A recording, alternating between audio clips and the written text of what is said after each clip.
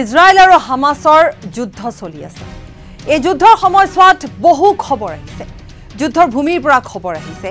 কেনেধৰণে আক্ৰমণ চলিছে কেনেকৈ প্ৰত্যাক্ৰমণ চলিছে কিমান মানুহে সেই ইজৰাইল এৰিছে কিমানে গাজা এৰিছে তেনেকুৱা ধৰণৰ বহুখিনি খবৰ আহিছে। তাৰ মাজত শেহতীয়া খবৰ অনুসৰি যে কিছু সংখ্যক তাত ঠাই ৱৰ্কাৰ্ছ আছে যিসকলে তাত কাম কৰি আছিল। তেওঁলোকে খেতিপথাৰত কাম কৰিছিল বা তেওঁলোকে বিভিন্ন কামৰ সৈতে বিভিন্ন কোম্পানীৰ সৈতে তেওঁলোক জড়িত হৈ আছিল। গতিকে তেওঁলোকে বৰ্তমান ইজৰাইল এৰিছে।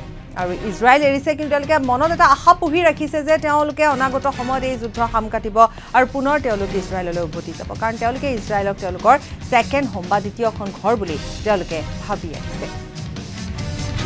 থাইলেণ্ডৰ এম্বেচাডৰগৰাকীয়ে ইতিমধ্যে সেই কথা উল্লেখ কৰিছে যে থাইলেণ্ডৰ যিসকল লোক ইজৰাইলত ইমান বছৰে বাস কৰি আছিলে যিহেতু তেওঁলোকে নিজৰ নিৰাপত্তাৰ খাতিৰত থাইলেণ্ডলৈ উভতি যাবলৈ ওলাইছে। গতিকে অনাগত সময়ত যদি তেওঁলোকে নিজেই বিচাৰে যে পুনৰ এবাৰ ইজৰাইললৈ আহি তেওঁলোক সংস্থাপিত হ'ব তেতিয়াহ'লে তেওঁলোকে আহিব পাৰে। সেই অনুমতি থাইলেণ্ড চৰকাৰৰ তৰফৰ পৰা দিয়া আছে।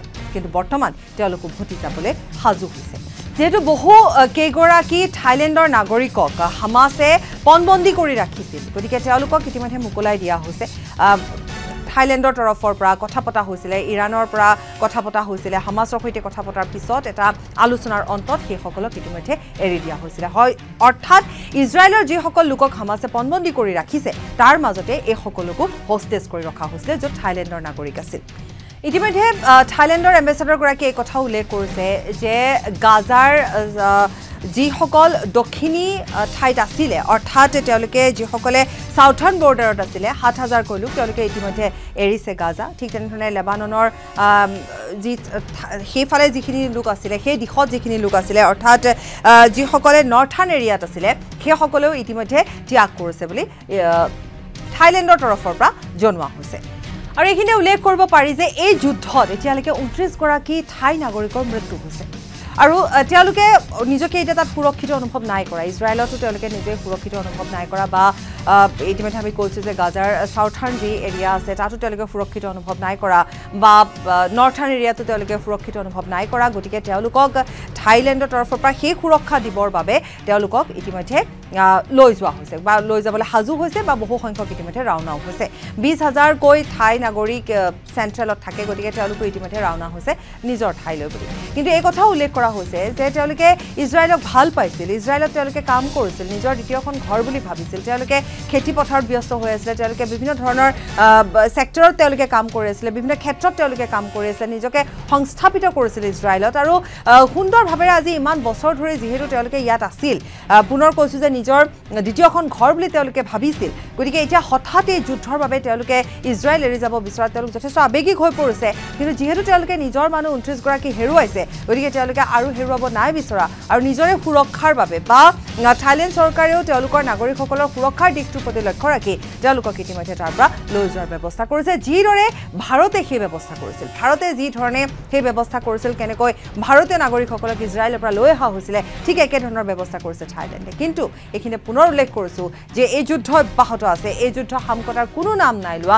আৰু হয়তো অনাগত সময়ত এই যুদ্ধ অন্য এক ৰূপ ল'বগৈ। হয়তো আৰু বহু ৰাষ্ট্ৰ ইয়াত সাঙুৰ খাই পৰা বা সোমাই পৰা সম্ভাৱনাও আছে বা এই শত্ৰুতা বৃদ্ধি হোৱাৰো সম্ভাৱনা আছে।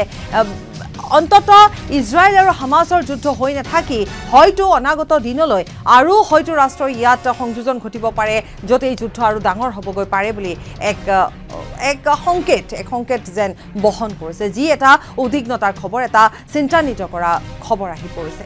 যিয়ে নহওক যুদ্ধ কোনেও নিবিচাৰে যুদ্ধ সামকতাটো সকলোৱে বিচাৰিছে কিন্তু ইজৰাইলৰ এটাই কথা যে কোনো পধ্যে এই যুদ্ধ তেওঁলোকে সাম কটাব বিচৰা নাই। এই যুদ্ধ তেওঁলোকে চলাই থাকিব। আৰু যেতিয়ালৈকে আচলতে ধূলিচাত কৰি নেপেলায় হামাছক উৎখাত কৰি নেপেলায় তেওঁলোকে তেতিয়ালৈকে এই যুদ্ধ অব্যাহত ৰাখিব। লাগিলে কোনোবা ৰাষ্ট্ৰই তেওঁলোকক সমৰ্থন কৰক বা নকৰক। য'ত নেকি এই যুদ্ধ শেষ হোৱাটো সামকতাটো বিচাৰিছে য'ত সাধাৰণ নাগৰিকৰ মৃত্যু হৈছে য'ত কণ কণ শিশু অনাথ হৈছে য'ত মহিলাসকল মহিলাসকল সকলে আনকি সেনা বাহিনী যোগদান কৰিছে য'ত বিশেষভাৱে এই যুদ্ধখনত যদি চোৱা যায় তেতিয়াহ'লে শিশু আৰু মহিলাৰে মৃত্যু বেছিকৈ হৈছে সৰ্বাধিক হৈছে। আৰু শেহতীয়া যদি আমি যুদ্ধৰ বতৰাৰ কথা কওঁ শেহতীয়াকৈ কিন্তু আমি কৈছোঁৱে যে ইজৰাইলৰ এই আক্ৰমণৰ ফলত ইতিমধ্যে এম্বুলেঞ্চত আক্ৰমণ কৰিছে পোন্ধৰগৰাকীকৈ লোকৰ মৃত্যু হোৱাৰ খবৰ আহি পৰিছে। ঠিক তেনেধৰণে ইউনিভাৰ্চিটিত আক্ৰমণ কৰিছে তাত যথেষ্ট সংখ্যক ছাত্ৰ ছাত্ৰী আছিল। ঠিক তেনেধৰণে আশ্ৰয় শিবিৰত আক্ৰমণ কৰিছে। গতিকে এই আক্ৰমণ ইজৰাইলৰ ফালৰ পৰা চলি আছে কিন্তু হামাছো সাজু হৈ আছে। হামাছো সাজু হৈ আছে সুৰংগ লৈ। অৰ্থাৎ এতিয়া হয়তো এই যুদ্ধ সুৰংগই দিব টানেল যুদ্ধ হ'ব।